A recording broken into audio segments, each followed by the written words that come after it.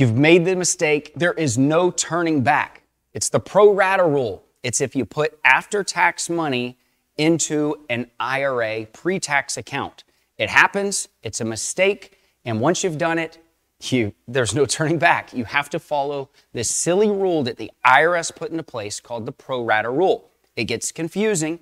I want to break that down for you to show you how you're going to do it, how you can still do Roth conversions, but now you have to take in effect this rule that comes into play. If we haven't met, I'm Eric with Jazz Wealth Managers, where we don't just invest your dough, we like to educate you on your dough. So let's step over here to the handy dandy board and let's talk about this. Now, common sense would say what a CPA once told me to do for a client, but unfortunately, it's not the actual facts. If you think about this, you would say, well, you know what? I've got an IRA over here that's all pre-tax, and I'm going to put, uh, I've got 94,000 in it. Well, guess what? Now I want to do the backdoor Roth IRA, so I'm going to open up another IRA, and I'm just going to put 6,000 after-tax dollars into this. How do you have after-tax dollars that go into a tax in a pre-tax account? Well, it depends on the amount of income you have. If you have a 401k at your job or a, an employer retirement plan, or if your spouse does, a lot of things can come into play that may make your IRA contribution not tax deductible. So this is after tax money that goes into the IRA. Well, if you have 94,000 here, 6,000 of after tax and you want to convert it to Roth, well, you just say, well, hey, I'm just going to take my 6,000 after tax money and put it in the Roth. Unfortunately, that's not the case. That's not how this is going to work, even though I actually had a CPA tell me to do this for a client. It does not work that way. Instead, the pro rata rule, the way this is going to work is a bit different. And so what the IRS looks at is the total amount of all IRA accounts.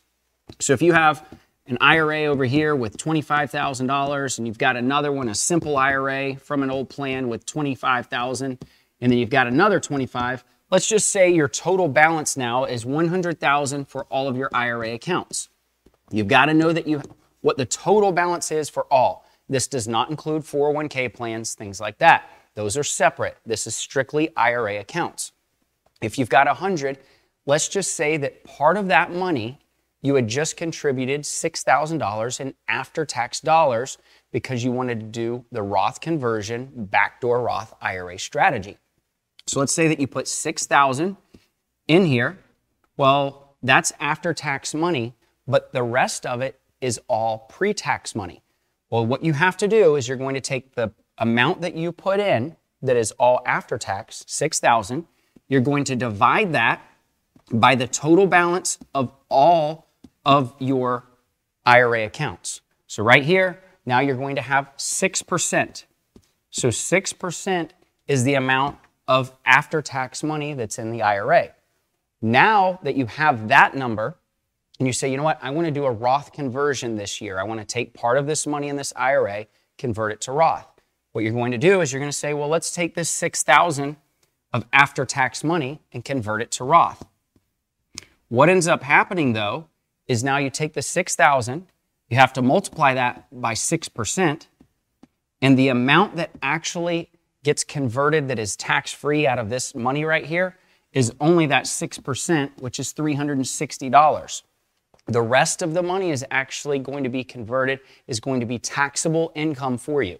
So you have to be really careful when you're doing this. You can't just say, I'm just going to convert the 6,000 and it's all going to be after tax money, no problem. Does not work that way. The IRS made this super difficult, super confusing. It's one that we help with clients here at Jazz Wealth. If you haven't checked us out, you can do that by going to jazzwealth.com. We'd be happy to help you. Thanks for watching. If you want to watch more FinTips videos, click here. Be sure to like and subscribe also.